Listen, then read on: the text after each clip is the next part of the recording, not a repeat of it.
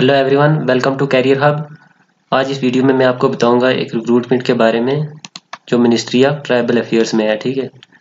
तो ये आप देख सकते हो, यहाँ पर national education society for tribal students ठीक है? An autonomous organisation under the ministry of tribal affairs government of India तो ये आपको पता चल गया है तो इसी में रिक्रूटमेंट है, ठीक है? National education society for tribal students तो इसमें कौन कौन सी पोस्ट हैं, ये आप देख सकते हो यहाँ पर। इसमें जो पोस्ट है, वो है assistant commissioner office superintendent stenographer grade first second office assistants and multitasking staff तो ये वाली पोस्ट हैं। तो सी होगा, ठीक है कंप्यूटर बेस्ड टेस्ट अप्लाई करने की डेट जो है, पाँच जनवरी 2021 है।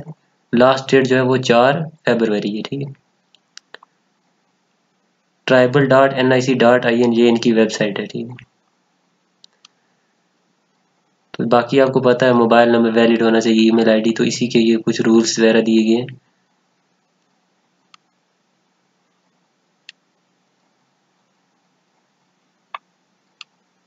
ऑनलाइन आपको अप्लाई करना, ठीक है।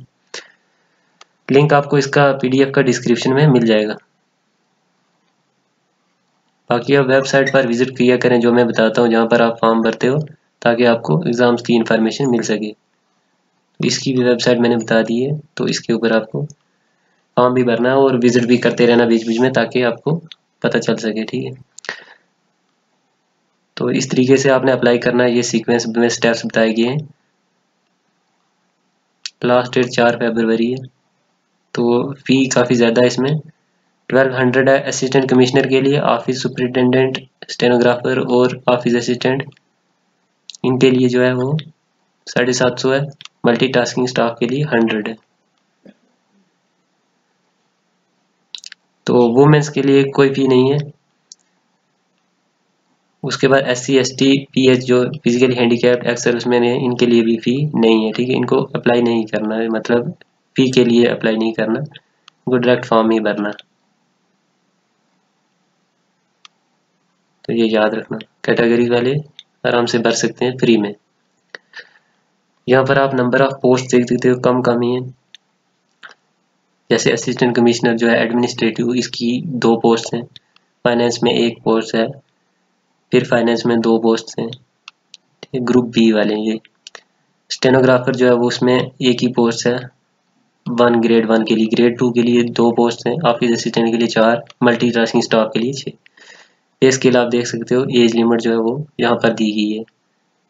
पहले दो के लिए चालीस है तो ऑफ़िस असिस्टेंट जो है इसमें सबसे कम है, सताइस।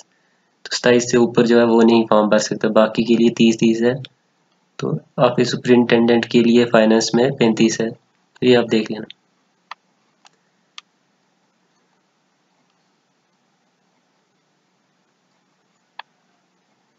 बाकी ये बताया गया कि मतलब फिजिकली हैंडीकैप के लिए कोई पोस्ट है नहीं तो इसमें एक ही जगह यहाँ पर बताया गया।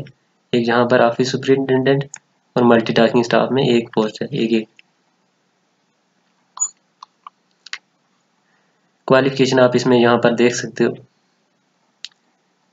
जैसे असिस्टेंट कमिश्नर के लिए ग्रेजुएट होना चाहिए। तो उसके साथ छः साल की रेगुलर सर्विस होनी चाहिए। या दो साल की स्केल में होनी चाहिए। ठीक है? लेवल सिक्स में है तो छः साल की सर्विस होगी। अगर लेवल सेवन में है तो दो साल की जो है रेगुलर सर्विस होनी चाहिए। तभी वो फॉर्म भर सकते हो आप। असिस्टेंट कमिश्नर फाइनेंस के लिए बी कम होनी चाहिए। तो उसी तरीके से आपने छः साल रेगुलर सर्विस होनी चाहिए लेवल सिक्स में या दो साल लेवल सेवन में। तो एक्सपीरियंस वगैरह होना चाहिए। इसी तरीके से आपकी सुपरिटेंडेंट फाइनेंस के लिए B com with fifty percent marks और चार साल का क्वालिफिकेशन वर्किंग एक्सपीरियंस या एम कम और साथ में तीन साल का एक्सपीरियंस या सी ए वगैरह एम बी ए तो वो होना चाहिए। तो उसके साथ भी दो साल का एक्सपीरियंस अगर सी ए वगैरह है तो या एम बी ए तो उसके साथ भी दो साल का एक्सपीरियंस होना चाहिए। कंप्यूटर का नॉलेज भी होना चाहिए। स्टेनोग्राफर इसमें ग्रेजुएट होना चाहिए हंड्रेड वर्ड इंग्लिश में जो है वो स्टेनो की स्पीड होनी चाहिए। और टाइपिंग में forty five knowledge of computer application तीन साल का एक्सपीरियंस ग्रेड सेकंड स्टेनो के लिए एक और जो है वो इंग्लिश के लिए एक हिंदी के लिए। तो इसमें ट्वेल्थ होना चाहिए।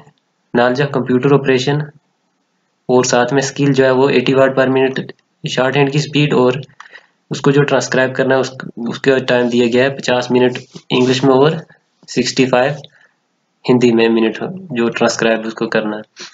ऑफ़िस असिस्टेंट के लिए बैचलर डिग्री होनी चाहिए किसी भी स्ट्रीम में। मल्टीटास्किंग स्टाफ के लिए टेंथ पास होना चाहिए या इसके बराबर कोई क्वालिफिकेशन होनी चाहिए। बाकी जहाँ पर बताया गया कि अगर आपके पास एक्सपीरियंस है तो उस जहाँ जहाँ का एक्सपीरियंस है तो उस कंपनी के बारे में क्या है मतलब उस वहाँ पर कितने एम्प्लॉयज़ होने चाहिए, कितनी बड़ी होनी चाहिए, या गवर्नमेंट में की है तो उसका डिटेल जी आप देख सकते हैं। बाकी रिलैक्सेशन है एज में कैटेगरीज के लिए ये आप देख सकते हैं। बाकी स्कीम ऑफ़ एग्जामिनेशन तो बहुत बार जो है कमेंट्स आते हैं कि स्कीम ऑफ़ एग्जामिनेशन तो इसमें साथ में दी गई है। तो यहाँ पर आप देख सकते हो। ठीक है? जो आप पोस्ट भरोगे तो उसका जो है वो सिलेबस भी साथ में दिया गया है यहाँ पर। पूरा पैटर्न दिया गया है कि क्या क्या आएगा उसमें। और सिलेक्शन किस बेस पर होगी, ठीक है? तो ये आप देख सकते हो अपने हिसाब से, आपने कौन सी भरनी और उसका क्या सिलेबस है?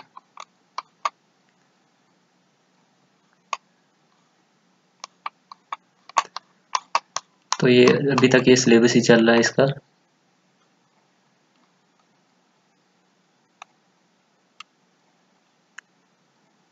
तो पेपर टू भी होगा, ठीक है? इंटरव्यू नहीं होगा मल्टीटास्किंग स्टाफ के यहाँ पर लिखा हुआ है। मूड ऑफ़ सिलेक्शन ये आपने ज़रूर पढ़ना कि आपकी सिलेक्शन किस बेसिस पर होगी, ठीक है?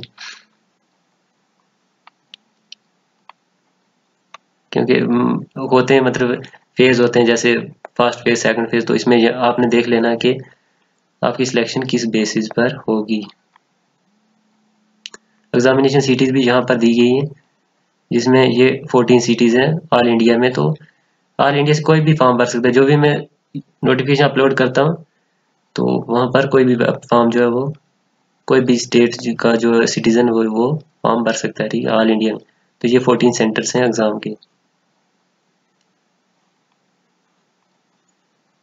यहाँ पर लिखा गया only Indian citizen are eligible to apply to वही जो मैंने आपको बताया।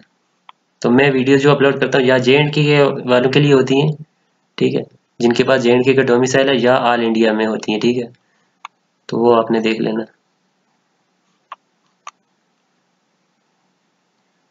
तो पाँच जनवरी से चार फरवरी के बीच में आपने फॉर्म भरना है। तो सीबीटी की जो डेट होगी वो वेबसाइट पर अपलोड की जाएगी बाद में। तो वेबसाइट पर विज़िट कर, किया करें, ठीक? तो इस वीडियो में इतना ही। तो आप चैनल को सब्सक्राइब कर सकते हैं ताकि आपको नोटिफिकेशन टाइम पर मिल सके और आप फॉर्म भर सको। आपको पता हो कि कौन सी जॉब जो है वो इस टाइम निकली है। Thanks for watching